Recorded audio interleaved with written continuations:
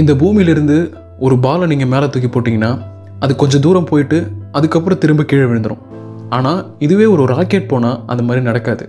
இதுக்கு காரணம் வெலாசிட்டி இப்போ நீங்கள் ராக்கெட்னு இல்லை எந்த ஒரு ஆப்ஜெக்ட்டுக்குமே ஒரு செர்டைன் வெலாசிட்டியை கொடுக்கும்போது அது எர்த்துடைய கிராவிடேஷனல் புல்லிருந்து தப்பிச்சு போயிடும். இப்படி கிராவிடேஷனல் புல்லிருந்து தப்பிக்கிறதுக்கு அது எடுத்துக்கிற ஸ்பீடை தான் நாம் எஸ்கேப் வெலாசிட்டி அப்படின்னு சொல்கிறோம் இப்போ எர்த்துடைய கிராவிடேஷனல் புல்லிருந்து நாம் தப்பிக்கணும்னா கிட்டத்தட்ட eleven point two kilometre per second escape வெலாசிட்டியோட travel பண்ண மட்டும்தான் முடியும். இப்போ ஜூபிட்டர்லேருந்து தப்பிக்கணும்னா கிட்டத்தட்ட fifty nine point five kilometre per செகண்டில் ட்ராவல் பண்ணணும். இதுவே சன்னிலேருந்து தப்பிக்க கிட்டத்தட்ட six hundred and seventeen kilometre per second escape வெலாசிட்டியோட travel பண்ணணும். அப்போது ஒரு ஆப்ஜெக்ட்லேருந்து தப்பிக்கணும்னா இங்கே எஸ்கேப் வெலாசிட்டிங்கிறது ஒரு முக்கியமான விஷயமா இருக்குது இப்போ நீங்கள் சன் மாதிரியே இன்னொரு ஆப்ஜெக்டை கன்சிடர் பண்ணிக்கோங்க. இப்போ நம்ம கன்சிடர் பண்ண இந்த ஆப்ஜெக்ட்லேருந்து நம்ம தப்பிக்கணும்னா இந்த யூனிவர்ஸுடைய அதிகபட்ச ஸ்பீட்னா அது லைட்டோட ஸ்பீட் தான். கிட்டத்தட்ட three lakhs kilometre per second வேகத்தில் பயணிக்கிற இந்த லைட்டோட ஸ்பீடை விட அதிகமான ஸ்பீடில் போனால் மட்டும்தான் நாம் கன்சிடர் பண்ணியிருக்கிற இந்த ஆப்ஜெக்ட்லேருந்து தப்பிக்க முடியும். அப்படின்னா நம்ம கன்சிடர் பண்ண அந்த ஆப்ஜெக்டுடைய கிராவிடேஷனல் ஃபீல்ட்லேருந்து ஈவன் லைட்டால் கூட எஸ்கேப் ஆக முடியாது. இப்போ நம்ம கன்சிடர் பண்ண அந்த ஆப்ஜெக்ட் தான் இந்த பிளாக் ஹோல் இந்த பிளாக் ஹோல்ல இருந்து லைட்டால கூட எஸ்கேப் ஆக முடியாது. அந்த அளவுக்கு கிராவிடேஷனல் புல்லை கொண்டது தான் இந்த பிளாக் ஹோல் இந்த கிராவிடேஷனல் புல்லை நம்ம புரிஞ்சுக்கிறதுக்கு முன்னாடி கிராவிட்டினா என்னன்றதை நல்லா புரிஞ்சுக்கணும். இப்போ ஐன்ஸ்டீனுடைய ஜென்ரல் ரிலேட்டிவிட்டி படி இந்த யூனிவர்ஸில் உள்ள எல்லா மேசிவ் ஆப்ஜெக்ட்டுமே இந்த ஸ்பேஸ் டைம் ஃபேப்ரிக்கை வளைக்குது. இப்படி அந்த ஸ்பேஸ் டைம் ஃபேப்ரிக்கில் அந்த மேசிவ் ஆப்ஜெக்ட் ஏற்படுத்துகிற கருவேச்சரை தான் நம்ம ஸ்பேஸ் டைம் கருவேச்சர் அப்படின்னு சொல்கிறோம் ஒரு ஆப்ஜெக்ட் வந்து அந்த ஆப்ஜெக்டுடைய மாசுக்கு ஏற்ற மாதிரி அந்த ஸ்பேஸ் டைமை வளைக்குது. அதிக மாசுடைய ஆப்ஜெக்ட் வந்து அதிகமான கர்வேச்சர் ஏற்படுத்தும். கம்மியான மாசுடைய ஆப்ஜெக்ட் வந்து கம்மியான கர்வேச்சர் ஏற்படுத்தும். இப்போ நீங்கள் பார்க்குற இந்த இமேஜில் ஃபேப்ரிக் கிரிட்லைன்ஸ் மேலே இருக்க ஆப்ஜெக்ட்ஸ் வந்து அதோடைய மாசுக்கு ஏற்ற மாதிரி அந்த ஃபேப்ரிக்கை அதாவது துணி மாதிரி இருக்க அந்த அமைப்பை பெண்ட் பண்ணுது. இப்போ அந்த ஃபேப்ரிக்கில் அதிகமான மாசுடைய ஆப்ஜெக்ட் வந்து அதை விட கம்மியான மாசுடைய ஆப்ஜெக்டை அதை நோக்கி இழுக்கும். இதுதான் நம்ம வந்து ஸ்பேஸ் டைம் ஃபேப்ரிக் அப்படின்னு சொல்லுவோம். இப்போது சன் விராப் பண்ணுற ஸ்பேஸ் டைம்னால தான் சன்னை சுற்றி எல்லா பிளானட்ஸுமே சுற்றிட்டுருக்கு அதே மாதிரி இந்த ஃபேப்ரிக்கில் எர்த்து விராப் பண்ணுற ஸ்பேஸ் டைம்னால தான் எர்த்தை சுற்றி மூன் சுற்றிட்டுருக்கு இந்த ஸ்பேஸ் டைம் ஃபேப்ரிக்கை வச்சு தான் இந்த ஒட்டுமொத்த யூனிவர்ஸுடைய மோஷனுமே இருக்குது அப்படின்னு கூட நம்ம சொல்லலாம். அதே மாதிரி இதை வச்சு தான் நம்ம மேசிவ் ஆப்ஜெக்டான சன்னை சுற்றி எல்லா பிளானட்ஸுமே சுற்றிட்டு இருக்கு. இந்த ஸ்பேஸ் டைம் ஃபேப்ரிக்கில் அந்த ஆப்ஜெக்ட் வந்து ஒரு கர்வேச்சரை ஏற்படுத்துது இல்லையா? இப்போ இந்த கர்வேச்சர் அந்த ஆப்ஜெக்ட் மேலே ஏற்படுத்துகிற ஃப்ரிக்ஷனல் ஃபோர்ஸ் தான் இந்த கிராவிட்டி இந்த கிராவிட்டி வந்து அந்த ஆப்ஜெக்டுடைய மாஸ் டென்சிட்டி அப்புறம் அது ஏற்படுத்துகிற கர்வேச்சரை பொறுத்து அதிகமாகவோ கம்மியாகவோ இருக்கும். இப்போ உங்களுக்கு இந்த கிராவிட்டி பற்றியும் இந்த ஸ்பேஸ் டைம் பற்றியும் ஓரளவுக்கு ஐடியா கிடச்சிருக்கும்னு நினைக்கிறேன். இப்போ நம்ம பிளாக் ஹோலுக்கு வருவோம். பிளாக் ஹோலுடைய கிராவிடேஷனல் புல்லை பற்றி தெரிஞ்சுக்கிறதுக்கு முன்னாடி ஒரு பிளாக் ஹோல் எப்படி ஃபார்ம் ஆகுது அப்படிங்கிறத நம்ம நல்லா தெரிஞ்சுக்கணும். அதாவது ஒரு ஸ்டார் வந்து அதோடைய லைஃப் சைக்கிளை முடிக்கும்போது அதாவது அந்த நட்சத்திரம் இருக்கும்போது அது ஒரு பிளாக் ஹோலாக மாறுது. ஒரு நட்சத்திரம் வந்து நீங்கள் பார்த்துட்டு இருக்கிற இந்த ஸ்டெல்லர் நெபுலால தான் பிறக்குது. அப்படி பிறக்கிற நட்சத்திரம் வந்து அதோடைய மாசுக்கு ஏற்ற மாதிரி எவாலட் ஆகும். அதாவது இந்த ஸ்டெல்லர் நெபுலாலேருந்து பிறக்கிற ஒரு ஸ்டார் அது ஆவரேஜ் ஸ்டாராக இருந்தால் அது ரெட் ஜெயின் ஸ்டாராக மாறி அதுக்கப்புறம் பிளானட்டரி நெபுலாவாக மாறி அப்புறம் ஒயிட் டிராப் ஸ்டாராக மாறுது. இப்போ இதுவே இந்த ஸ்டெல்லர் நெபுலாலேருந்து மேசிவ் ஸ்டார் பிறந்துச்சுன்னா அது ரெட் சூப்பர் ஜெயின் ஸ்டாராக மாறி அதுக்கப்புறம் சூப்பர் நோவா வெடிப்பை ஏற்படுத்தி நியூட்ரான் ஸ்டாராவோ இல்லை பிளாக் ஹோலாவோ மாறும். அதே மாதிரி இந்த ஒயிட் ட்ராப் ஸ்டாரும் கூட பிளாக் ஹோலாக மாறும். ஒரு ஒயிட் ட்ராப் ஸ்டாருடைய அதிகபட்ச மாஸ் வந்து பார்த்தீங்கன்னா ஒன் பாயிண்ட் ஃபோர் சோலார் மாஸை கொண்டு தான் இருக்கும். இந்த one point four solar mass லிமிட்டுங்கிறது தான் நாம் சந்திரசேகர் லிமிட் அப்படின்னு சொல்கிறோம் இந்த ஒயிட் ட்ராப் ஸ்டாருடைய லிமிட்டை வந்து நம்ம தமிழ்நாட்டை சேர்ந்த டாக்டர் சுப்பிரமணியன் சந்திரசேகருங்கிற ஒரு சயின்டிஸ்ட் தான் கண்டுபிடிச்சாரு. இப்போ இந்த ஒயிட் ட்ராப் ஸ்டாருடைய லிமிட் இருக்கு இல்லையா? அது ஒன் பாயிண்ட் ஃபோர் சோலார் மாஸாக இருக்கிற வரைக்கும் தான் அது ஒரு ஒயிட் ட்ராப் ஸ்டாராக இருக்க முடியும். அந்த லிமிட்டேஷனை தாண்டிடுச்சுன்னா அது ஒரு நியூட்ரான் ஸ்டாராவோ இல்லை பிளாக் ஹோலாவோ மாறிடும். ஓகே இப்போ இந்த லைஃப் சைக்கிளில் ஒரு ஸ்டேபிளான ஸ்டார் வந்து அதாவது ரெட் சூப்பர் ஜெயின் ஸ்டார் வந்து ரெண்டு பேலன்ஸ்டு ஃபோர்ஸை டிபெண்ட் பண்ணி தான் இருக்கும். ஒன்று வந்து கிராவிடேஷனல் ஃபோர்ஸ் இன்னொன்று வந்து நியூக்ளியர் ஃபிஷன் ஃபோர்ஸ் அதாவது அணு இணைவு விசை. இப்போ இந்த கிராவிடேஷனல் ஃபோர்ஸ் வந்து எப்பவுமே அந்த ஸ்டாருடைய உட்புறத்தை நோக்கி தான் செயல்படும். அதாவது அதுடைய கோரை நோக்கி தான் செயல்படும். அட் த சேம் டைம் வந்து இந்த நியூக்ளியர் ஃபிஷன் ஃபோர்ஸ் வந்து அந்த ஸ்டாருடைய கோரிலிருந்து வெளிப்புறத்தை நோக்கி தான் செயல்படும். இப்போது இந்த கிராவிடேஷனல் ஃபோர்ஸ் வந்து அந்த ஸ்டாருடைய உட்புறத்தை நோக்கி செயல்படுறதால அந்த கிராவிடேஷனல் ஃபோர்ஸ் அந்த ஸ்டாருடைய சைஸை சின்னதாக ட்ரை பண்ணும். அட் த சேம் டைம் இந்த ஸ்டாருடைய கோர்லேருந்து வெளிப்புறத்தை நோக்கி செயல்படுற இந்த நியூக்ளியர் ஃபிஷன் ஃபோர்ஸ் வந்து அந்த ஸ்டாருடைய சைஸை வந்து அதிகமாக்க தான் ட்ரை பண்ணும். இப்போ இந்த ரெண்டு ஃபோர்ஸுமே ஒரே நேரத்தில் அந்த ஸ்டார் மேலே ஆக்ட் ஆகுறதுனால இந்த ரெண்டு ஃபோர்ஸும் சேர்ந்து அந்த ஸ்டாரை ஒரு பேலன்ஸ்டு ஸ்டாராக மாற்றுது இப்போ இந்த ரெட் சூப்பர் ஜெயின் ஸ்டாருடைய லைஃப் சைக்கிள் முடிகிற டைமில் அதாவது அந்த நட்சத்திரம் வந்து இருக்கிற காலகட்டத்தில் அந்த ஸ்டாருடைய கோரில் நடக்கிற நியூக்ளியர் ஃபியூஷன் அயன் ஃபியூஷனாக மாற தொடங்கும். அதாவது இந்த அயன் ஃபியூஷன் வந்து நம்ம எண்டோதெர்மிக் ரியாக்ஷன் கூட சொல்லலாம். இந்த எண்டோதெர்மிக் ரியாக்ஷனுங்கிறது வந்து தெர்மல் எனர்ஜியை வெளியிடுறதுக்கு பதிலாக தெர்மல் எனர்ஜியை உரியிற மாதிரியான ஒரு ரியாக்ஷன் தான். இப்படி இந்த எண்டோதெர்மிக் ரியாக்ஷனால என்ன ஆகும்னு பார்த்தோம்னா இனிமே வந்து அந்த ஸ்டாரால் உள்நோக்கி செயல்படுற அந்த கிராவிடேஷனல் ஃபோர்ஸை வந்து பேலன்ஸ் பண்ண முடியாமல் போகுது.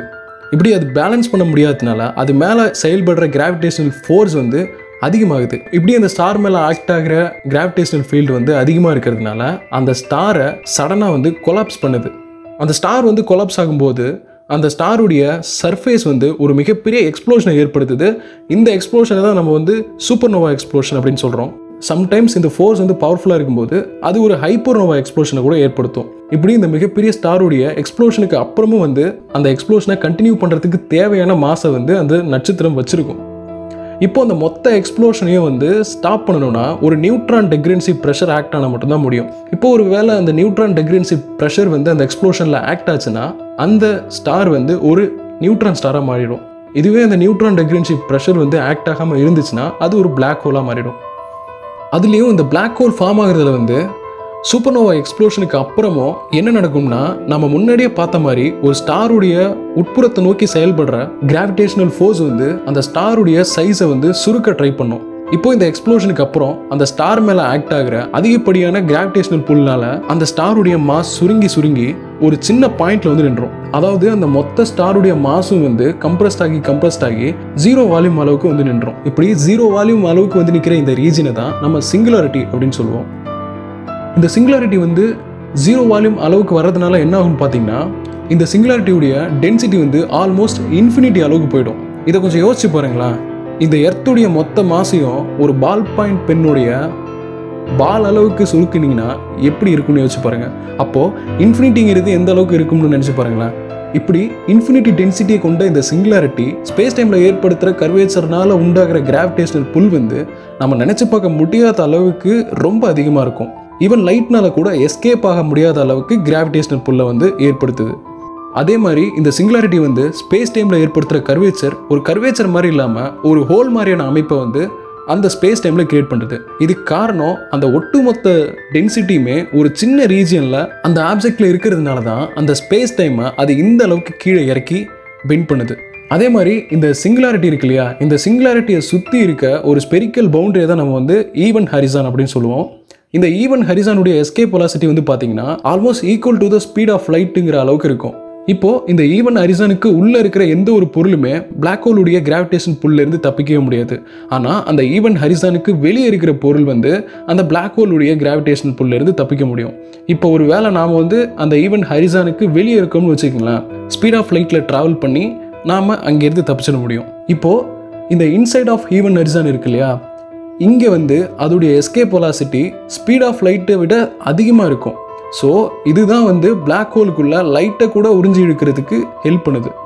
இப்போது இந்த ஈவன் ஹரிசானுடைய அவுட் சைடு வந்து லைட்டுடைய ஸ்பீடை விட கம்மியான எஸ்கேப் வெலாசிட்டியை தான் வச்சுருக்கோம். இதனால தான் நமக்கு வந்து பிளாக் ஹோலுடைய அவுட் ரீஜியன் வெளிச்சமாக தெரியுது. அதே மாதிரி இந்த குவாண்டம் ஸ்பேஸ் தேரியில் ஸ்பேஸ் டைமை வளைச்சிருக்க இந்த ஈவன் ஹரிசான் வந்து ஒரு ரேடியேஷனை வெளியிடுறதா ஸ்டீஃபன் ஹாக்கிங் ப்ரெடிக்ட் பண்ணார். இந்த ரேடியேஷனை தான் நம்ம வந்து ஹாக்கிங் ரேடியேஷன் அப்படின்னு சொல்லுவோம். இந்த ஹாக்கிங் ரேடியேஷனுங்கிறது ஒரு பிளாக் பாடி ரேடியேஷன் தான்.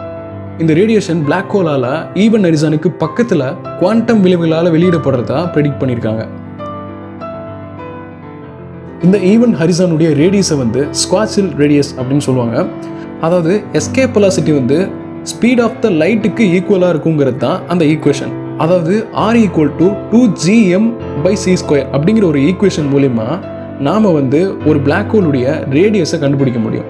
அடுத்து வந்து இந்த ஈவன் அரிசானை சுற்றிட்டு இருக்கிற ஜீரோ திக்னஸை கொண்ட இந்த ஃபோட்டான் ஸ்பியர் இந்த ஃபோட்டான் ஸ்பியர்ஸ் தான் வந்து பார்த்தீங்கன்னா ஈவன் அரிசானுக்குள்ள ஃபோட்டான்ஸை வரவிடாமல் அந்த ஃபோட்டான்ஸ் அதாவது அந்த வெளிச்சத்தை பிளாக் ஹோலுடைய அவுட்டர் ரீஜியனில் ஒரு ஆர்பிட்டில் சுற்றிட்டு இருக்க வைக்குது.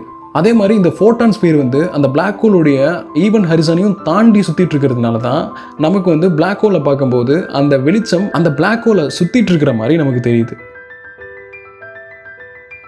இந்த பிளாக் ஹோலை சுற்றிட்டு இருக்கிற இந்த அக்ரேஷன் டிஸ்க் வந்து இன்டர்ஸ்டெல்லர் மெட்டீரியல் இல்லை ஸ்டார் டஸ்ட்னால ஆனதுன்னு கூட சொல்லலாம். இது ஒரு வகையில் பிளாக் ஹோலை சுற்றி வெளிச்சம் ஏற்படுறதுக்கு முக்கிய காரணமாக இருக்குது அதே மாதிரி ஒரு ஸ்பின்னிங் பிளாக் ஹோலில் அதாவது ஒரு பிளாக் ஹோல் வந்து சுற்றிட்டு இருக்கும்போது அதோடைய மாஸ் வந்து அந்த பிளாக் ஹோலை சுற்றி இருக்க அந்த ஸ்பேஸ் டைமையும் சேர்த்து சுற்றுது இப்படியே அந்த ஸ்பேஸ் டைமையும் சேர்த்து சுற்றுற அந்த ரீஜனை தான் நம்ம வந்து ஹெட்கோஸ்பியர் அப்படின்னு சொல்லுவோம்.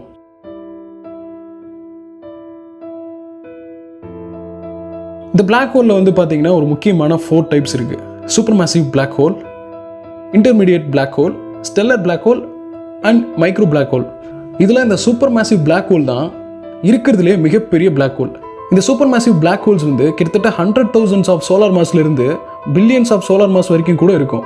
இந்த வகையான பிளாக் ஹோல்ஸ் வந்து கேலக்சிஸுடைய சென்டரில் இருக்கிறதா நம்பப்படுது. அதுலேயும் மில்கிவே கேலக்சிக்கு சென்டரில் சஸ்டாரியஸ் ஏ அப்படிங்கிற ஸ்டாருக்கு பக்கத்தில் இருக்கிறதா நம்பப்படுது. இதுதான் நம்ம வந்து காஸ்மோஸ் வீடியோலேயே பார்த்துருந்தோம். இந்த ஸ்டாருடைய மாஸ் வந்து பார்த்தீங்கன்னா டென் டு த பவர் ஃபைவ்லேருந்து ten to the power ten வரைக்கும் கூட இருக்கும். அடுத்து வந்து இன்டர்மீடியட் பிளாக் ஹோல்ஸ் இது வந்து பிளாக் ஹோலுடைய ஒரு ஐப்போதிசிஸான டைப் தான். அதே மாதிரி இதோடைய மாஸ் வந்து ten to the power of three solar mass அளவுக்கு தான் இருக்கும். ஸ்டெல்லர் பிளாக் ஹோல்ஸ் இது வந்து கிட்டத்தட்ட டென் சோலார் மாஸுக்கும் அதிகமான மாஸுடைய ஒரு ஸ்டாராக தான் இருக்கும்.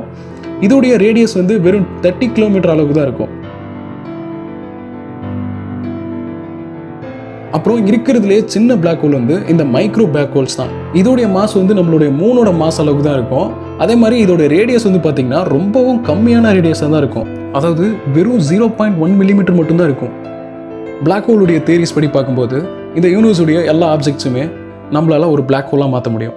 ஈவன் நம்மளுடைய எர்த்தை கூட நம்மளால் ஒரு பிளாக் ஹோலாக மாற்ற முடியும். ஒருவேளை நம்மளுடைய எர்த்தை வந்து ஒரு பிளாக் ஹோலாக மாறுனுச்சுன்னா அது கம்ப்ரஸ்ட் ஆகி வெறும் எயிட் எம்எம் கொண்ட ஒரு ஆப்ஜெக்டாக மட்டும்தான் இருக்கும். ஆனால் மாஸ் அப்படியே தான் இருக்கும் ஜஸ்ட் கம்ப்ரஸ்ட் ஆகிருக்கும் ஒரு சின்ன ஆப்ஜெக்ட் தான் ஆனால் அது ஏற்படுத்துகிற விளைவுங்கிறது கற்பனையில் கூட நினச்சி பார்க்க முடியாத அளவுக்கு பெருசாக இருக்குது இப்படி பல மிஸ்ட்ரீஸை கொண்ட இந்த யூனிவர்ஸில் இருக்க ஸ்ட்ரேஞ்ச் கேலக்சிஸுடைய மிகப்பெரிய ஒரு பவர் இந்த black holes this is scientifically Tamil.